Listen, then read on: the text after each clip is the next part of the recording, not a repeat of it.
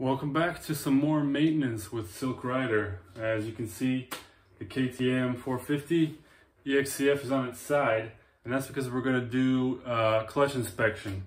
And that just doesn't mean we're going to just take it out for fun, uh, but as part of the service schedule, 10 or 30 hours, depending on uh, how you ride, um, we can take it out and we can check the thickness of the plates uh, but there's also a couple wear items in there that are uh, worth checking out that wear out. Uh, in my case, um, sooner than the clutch discs wear out. So this bike's got 100 hours on it. If you haven't seen my other videos, uh, particularly valve clearances, um, I talk about the service manual and what we're doing here is going to be straight from the service manual.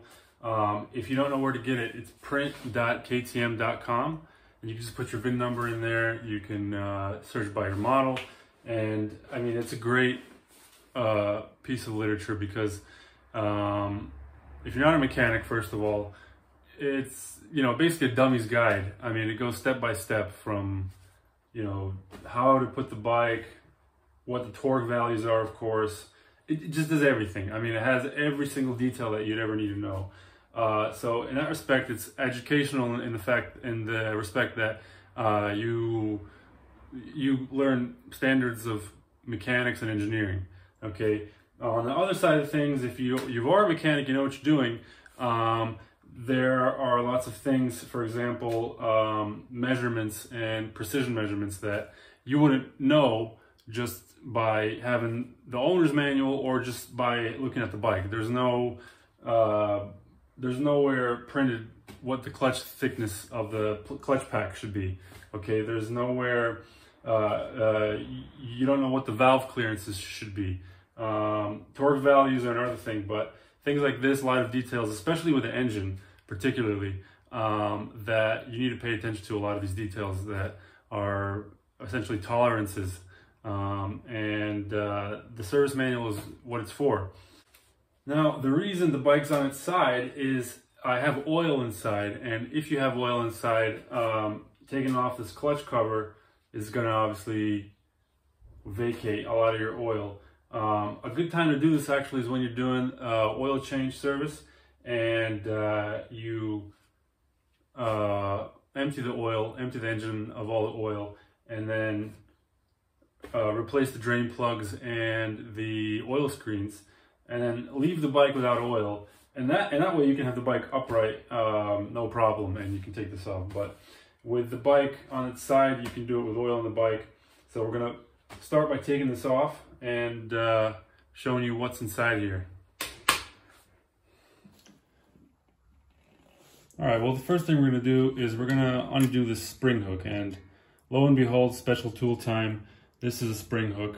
Um, it's kind of not going to happen with just a pair of needle nose pliers. It will. It'll take a little more time. You'll scratch up the uh, engine cover possibly, but with this it's pretty simple. All you got to do is sort of grab onto it and then use the um, needle nose pliers just to pull it out because it's curved. And that's all you got to do.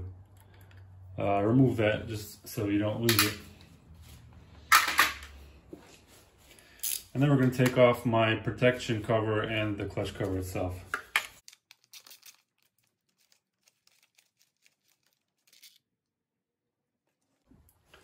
All right, and as always working on the engine, make sure this is clean because any dirt getting into there is basically you're getting into the drivetrain transmission of the engine. It's gonna gum it up, so just clean it off before you take off the cover.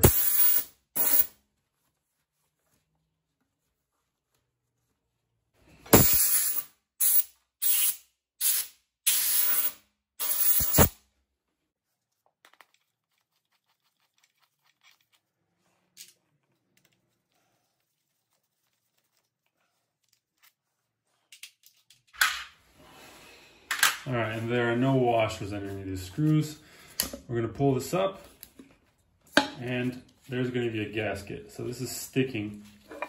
This is a rubber gasket, so it shouldn't break. If it breaks, it's time to replace it. So there's your cover and your gasket's right over here. It fits into this groove uh, inside of the uh, engine cover. So set that aside. and here we are. Uh, now you'll notice that um, what, what we have here is the Belleville spring, which is the spring that um, actuates the clutch action. So this is going in and out when you pull the clutch in and out the clutch lever. You see there's a, a marks there for one behind the screw two and three. Uh, that's an important setting we're going to get to after we get to reassembly. All right, so let's start by removing these screws of the uh, spacer here uh, for the Belleville spring. All right, now since the spring retainer is under pressure, we're to loosen these screws in a crisscross pattern.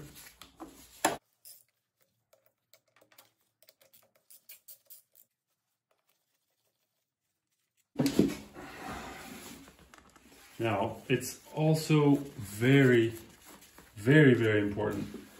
Don't drop anything into the engine, like I almost just did. Um, there's gears and stuff in here. This is, uh, you, again, your, your drivetrain starts here, your transmission. Don't drop anything in there. Um, it's slightly more difficult to do that when the bike is on its side. Uh, so yeah, make sure you have a pen magnet to fish anything out in case you do drop it out. But here we go. Spring retainer is removed. And you can see how there are sort of uh, ridges with different uh, sizes. Okay, uh, different heights, I would say. So we're gonna get back to that in assembly.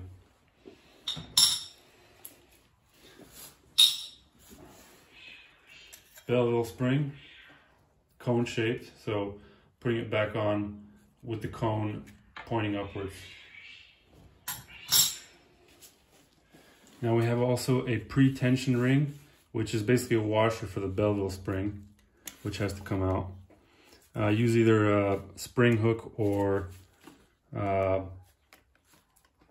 or a small screwdriver. There you go.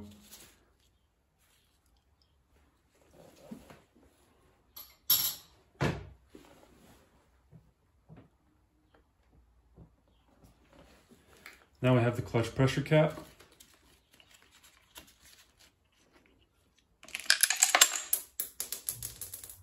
Yeah. Those were the bushes. Looks like two of them.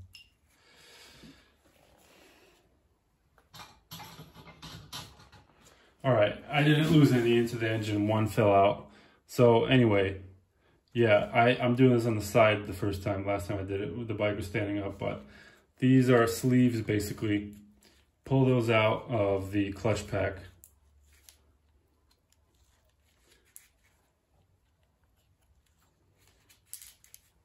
Don't drop them in.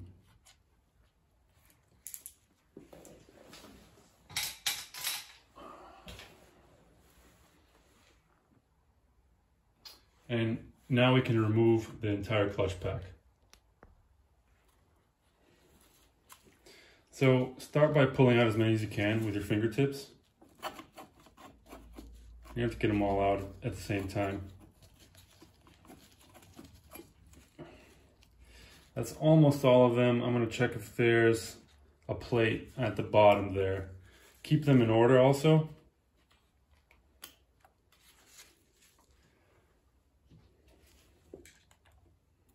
Yeah, there's one more.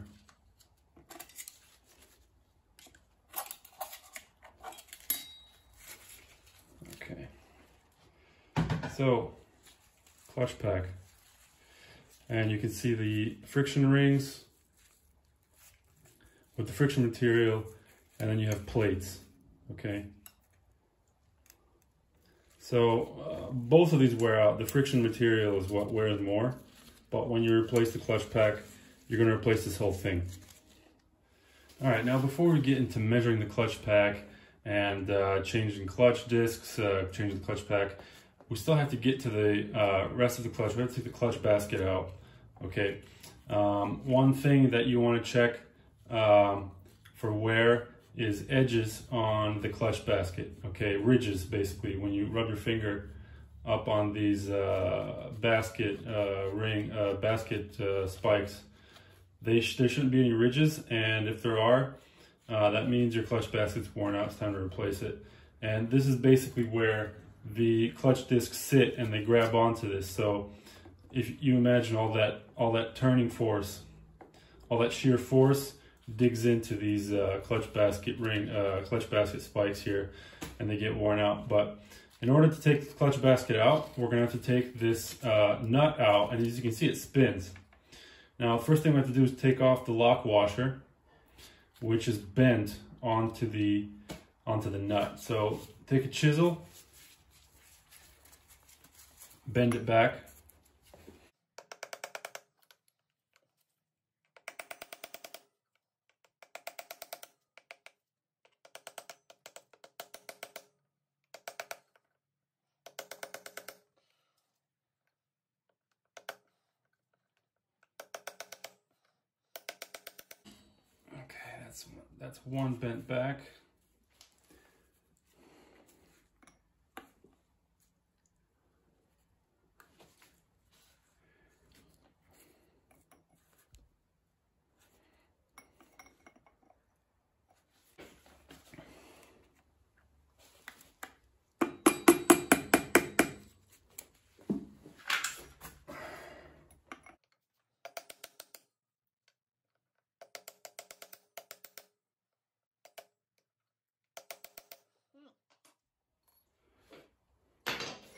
All right, now it's extra special tool time.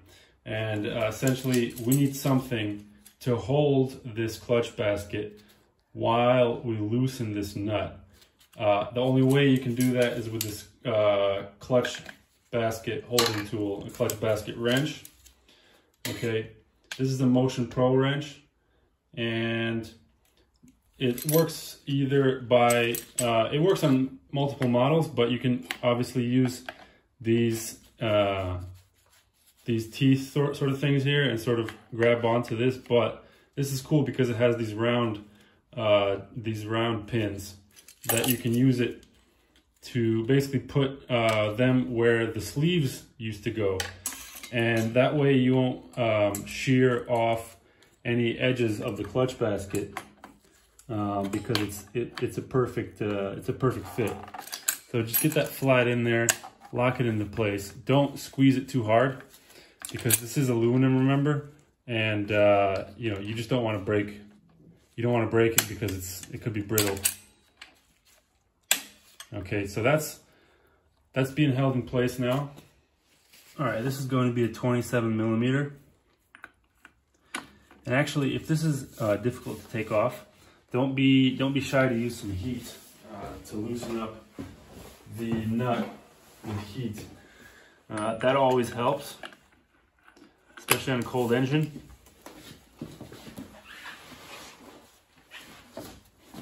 But this came off. And the important thing here, guys, is holding the clutch basket. Doing anything other than the tool that we have here is really going to damage the edges. Um, you don't want to damage the edges because your sleeves are in there and your clutch basket's in there. So before you do this, get one of these tools. They're not that expensive. And if you do it, if you do get the tool,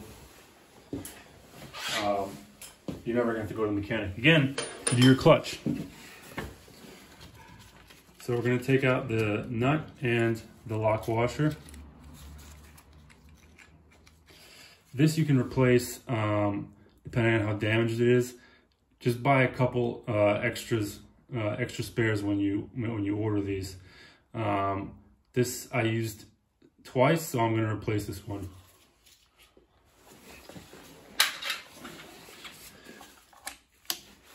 Unlock your tool. Now we're going to take off the clutch hub and there's a washer that's going to stick to the back of it. There it is falling into the engine. Yeah, that fell into the engine.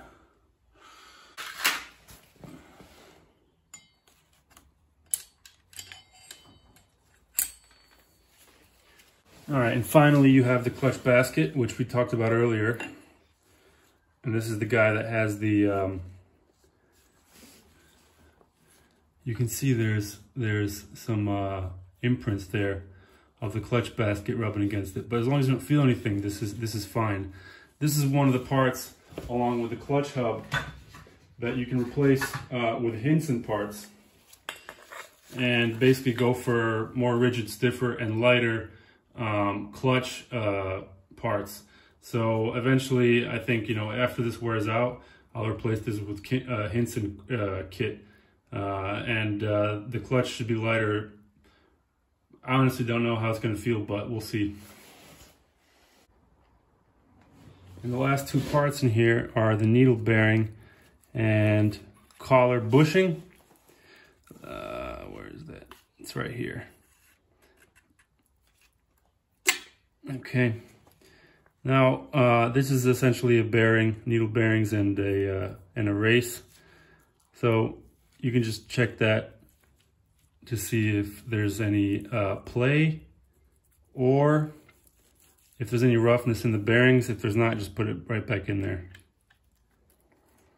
So that part still good. We're gonna we're gonna reuse that. All right, let's get to our our rubber dampers. So when we took off the um, clutch hub, uh, this actually comes in two pieces. And if you can see, there's basically these rubber things which are disintegrating for me. Okay, these rubber dampers. Um, and basically, um, what's ha what happens over time is, well, you need these rubber dampers to basically um, damp the metal to metal contact that you have uh, when you're uh, when you're when you're riding, and essentially over time these guys will wear out and you'll get play in them. And that's the important thing to watch out for. So I'm gonna try to put this back in and see if we can demonstrate this. So if you can see the clutch hub now with the dampers inside.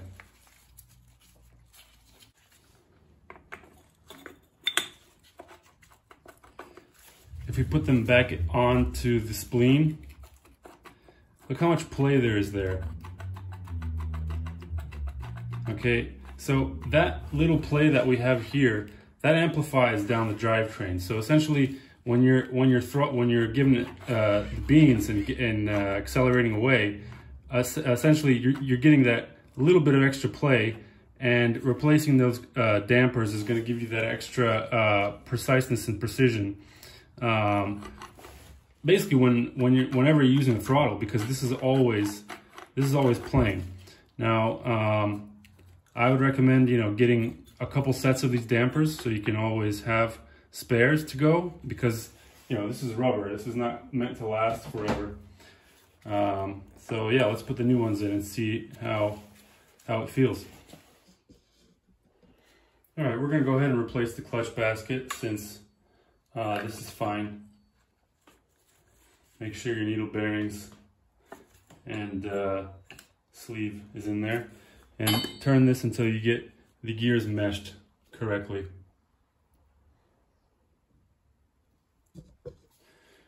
So that's in. And then let's take our inner clutch hub and we have our new dampers, rubber dampers. And all you gotta do is, uh, is just put those on to each of these little spleens, these uh, arms. And these hold much better, obviously, than the old ones.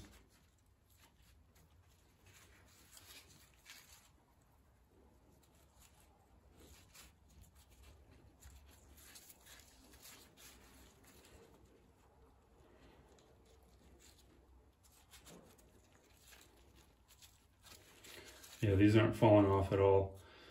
The other ones, they just wouldn't even stay on and they were mostly all broken. All right, let's get our outer clutch hub. And slide this right on.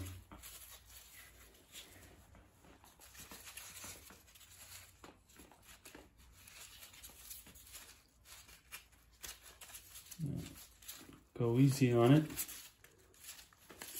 Yeah, and that's a really tight fit. So this is much better.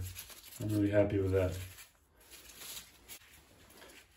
Now, make sure you have your washer that came off. Mount that first. There's uh, two teeth on it.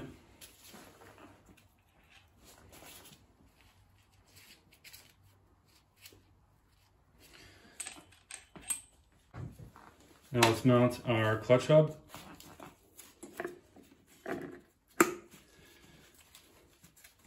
And yeah, essentially now there's zero play. Uh, this is tight as can be. So I'm expecting better responsiveness uh, on accelerating and any throttle action. All right, we're gonna get our new lock washer. Uh, you can see the tab. It's pretty easy to fit in there. And our nut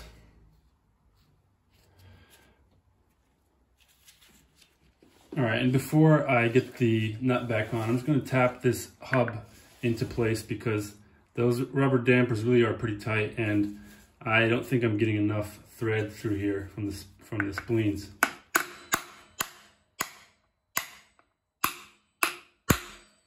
All right, and now that looks like it's all the way in. Yep. All right, now we can mount our lock washer, which only goes in one direction. There's a little tab that goes in. And our nut. No Loctite or anything, just uh, we have to torque it to 80 Newton meters. Obviously while holding uh, the hub with our special tool again. Gotta love the special tools. All right.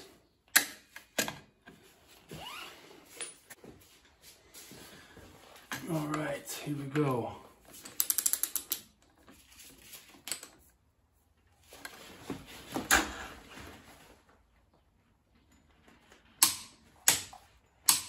There we go, 80.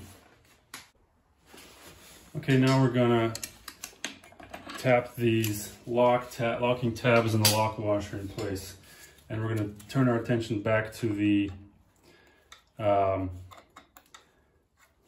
back to the clutch pack.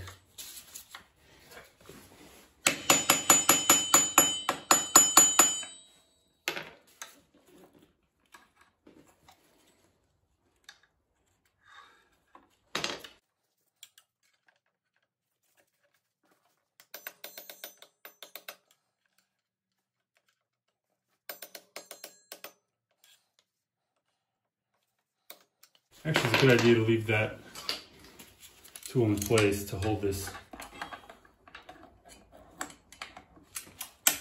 Okay.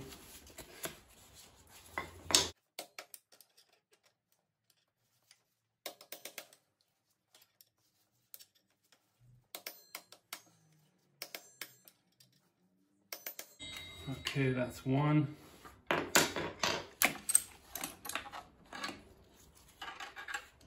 second one.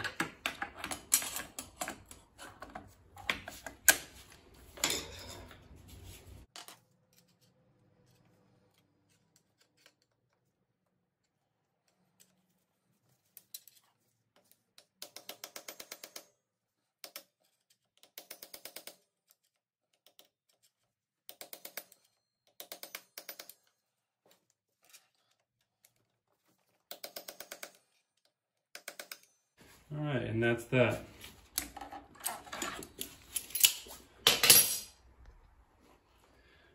Okay, so back to the clutch pack. Now, how do we know uh, if we should be changing this unless you have a slipping clutch and you kind of need to change it anyway because you feel it, but during your inspection, um, again, uh, something that the manual definitely comes handy, the repair manual. Um, take your micrometer, your calipers, and that should be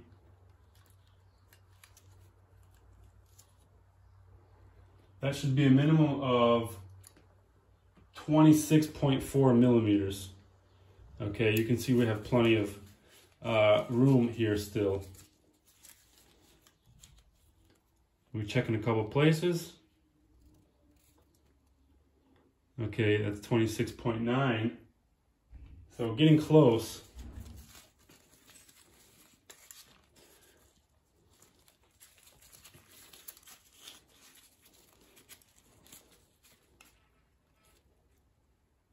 That's 27, 26.9. All right, well, that's good enough. Uh, I'll probably have to replace this clutch pretty soon, but it's it's going back in the way it is. Um, now, let's talk about the order of these plates. Uh, again, something you only find in the manual. So, which side goes in first, etc. How, how, do we know? So, again, um, the intermediate clutch disc uh, has an S marking on it. That one goes in first. But also the way you know is that the intermediate clutch, clutch plates, which are the ones on the outsides, these are one millimeter thick. Okay. So that's how you know this one goes on the inside.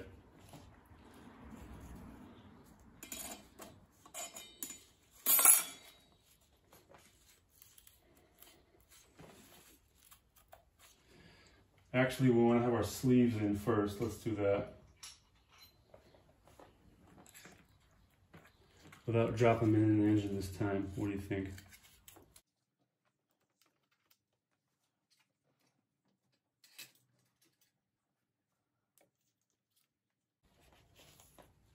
So as you can see, these are essentially uh, holding the clutch disc straight and um, and, and aligned across the whole pack.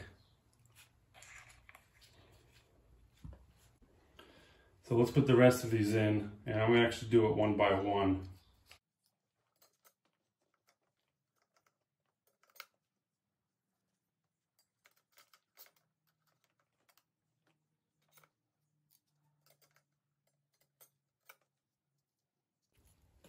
Now, before you replace the uh, clutch pack, these uh, friction discs, actually, the, the, whole thing has to be thoroughly oiled. Um, so either let that soak in a tub of oil or really get the oil in there because if you have the clutch pack in there dry, you're gonna have way too much excess friction if you go ahead and start the bike up and just go. Um, and you're just gonna burn out the clutch much faster than needed um, because it's hard to get oil circulated in here fast enough before this thing starts turning. Uh, so if, if it goes in dry, while the oil is still circulating, this thing, this thing is still gonna be dry and you're gonna have a lot of excess wear. If the oil even gets in, I mean, it probably should, but um, this has to go in oiled, pre-oiled. Um, that's the best way. One more check of these intermediate clutch discs in case you get lost and you confuse the uh, the ending clutch discs with the intermediate ones is the intermediate ones have a thickness of 1.4 whereas the two on the end are a thickness of 1 okay so again the S marking clutch disc is the first one in the one without the S is the last one on and the, all the other ones are a thickness of 1.4. So it's just as long as you get those in with the friction material uh, in between them, you're fine.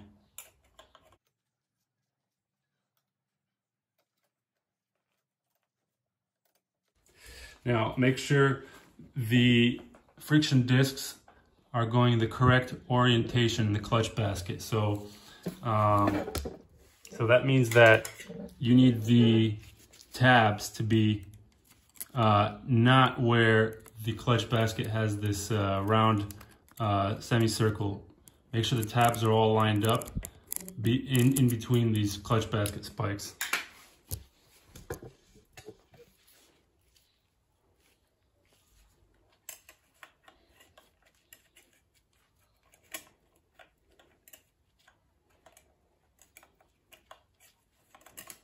All right, clutch basket, clutch pack replaced. All right, now that we're done looking over the clutch, we can finish putting it together. One part that actually got stuck was the throwout bearing into the, uh, the, the cover here. And essentially, this is just uh, the part this actually comes out as well. Uh, all it is is a rod. This is the part that uh, uh, connects the essentially the clutch lever action to the um, to the pressure plate going in and out. So mount the throwout bearing first.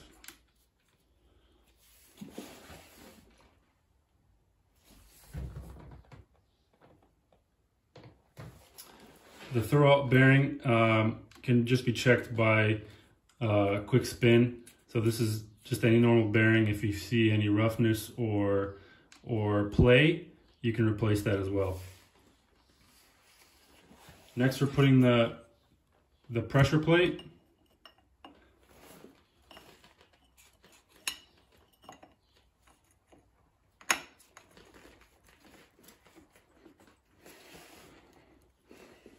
Now we're doing the pre-tension ring, which is the washer for the Belleville spring.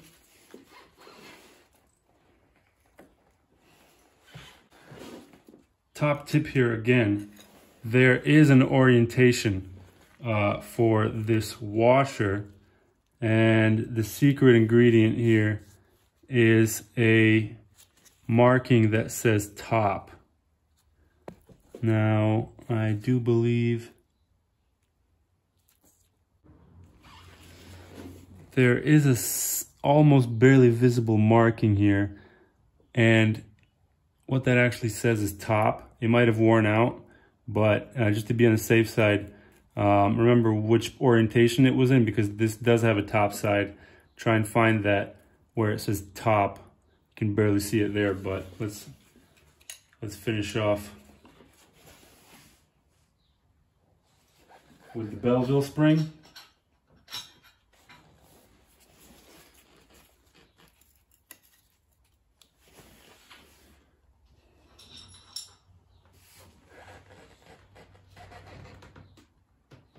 And now we're going to do the spring retainer. Now, remember, um, we have three positions here. One, two, and three. What I'm to show you is I'll put it in position three so you can see um, which one you choose depending on uh, depending on the uh, method we're going to show you. So first the thing you have to do is align one of the screws with the position you're going to check. So we're going to check three first. And basically what this um, spring retainer is doing is it's pre-tensioning the Belleville spring. And what that means is if it's too loose, um, you're not gonna, you're, you're, you're starting off loose. And when you uh, actuate the clutch, uh, when, when you pull in the clutch lever, you're not going to get uh, full um, uh, clutch release, okay? If the spring retainer is too tight, then you actually you actually might have a uh, a uh, you actually might be in neutral the whole time. I mean, you're gonna, your clutch is going to be uh, disengaged all the time because with the um, with the Belleville spring essentially pre-compressed too much, uh, you're you're already sort of, I guess, half clutching um, without using the clutch lever. So it's important to get the pre-tension correct. Now, unfortunately, we have to um, fully tighten this down to show you what I'm talking about. So let me just torque this real quick and then we'll show you how to check the pre-tension. Okay, we only need six Newton meters and crisscross pattern once again. Now, what we're going to do next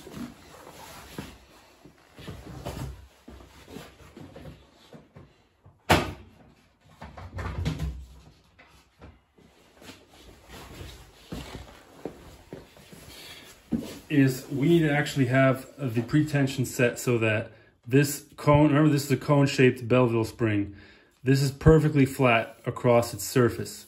Okay, that's the sort of benchmark we need to get we're uh, in order to see that we need either uh, a precision uh, metal bar or um, a steel ruler, but my uh, calipers do just fine. And I'm gonna take off my light.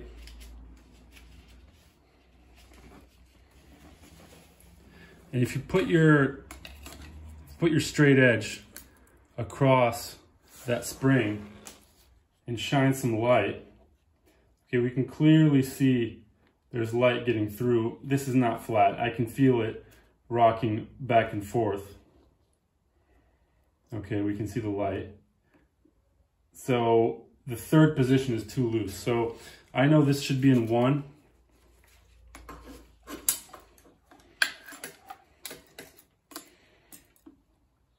Yeah, I'm gonna put it into one. So just leave that final screw in there, the one that's uh, going through the markings on the retainer, uh, the, the spring retainer, and slide that over to the setting you, to the next setting. You should be trying each setting basically because as your clutch thickness changes, as it gets thinner, you probably need to go lower on the pretension on the Belleville uh, spring retainer. So this is going to be on one, but uh, I think but I think it's best to try each one um, to see what your optimal setting will be. And that would the optimal setting would be to have no light coming through the uh, the straight edge that you put across the Belleville spring, uh, showing you that the spring is in fact flat across its top.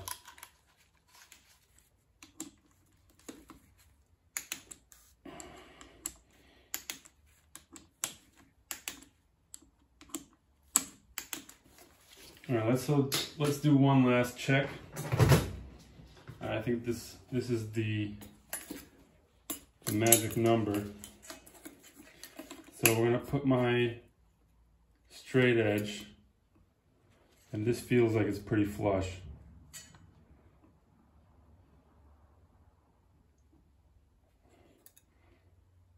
Definitely better than before, but if this was too tight, you'd actually get light coming through the middle of the uh, spring where I'm holding the straight edge.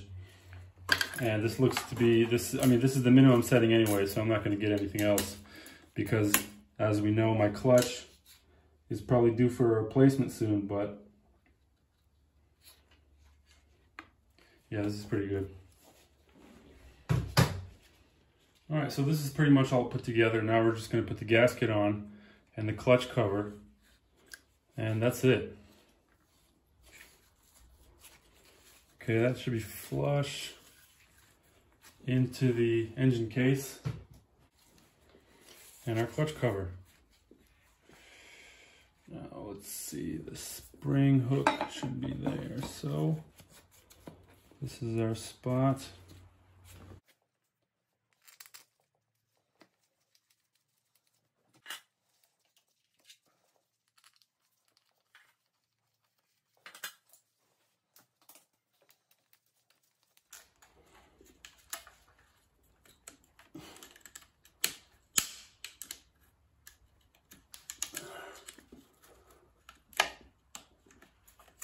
All right.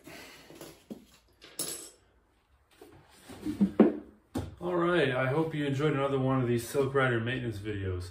And as you can see, it's really an easy job. This isn't something that a mechanic should be doing. Uh, you know, I mean, that would go for at least 100 in, in labor, uh, maybe 50 or 60. But um, if you don't know how to do that, it's going to be hard for you to, uh, you know, go traveling or racing internationally, it's something you, sh you should know how to do. It's an easy job. The only thing that makes it difficult is uh, the tool. And this is really the only specialty item that you need. Uh, 60 for this, and you can do this, you know, your whole life with the same tool. So this pays for itself after the first job. Okay, this is this costs probably the labor for the the job at a mechanic. So the tools are the most important part to make this as painless as possible. So I hope you enjoyed this once again and stay tuned for the next in our series all about chains, chain guides, cleaning chains, oiling chains, removing chains, breaking chains, riveting chains. It's going to be a chain bonanza. So stay tuned, happy riding, and stay greasy.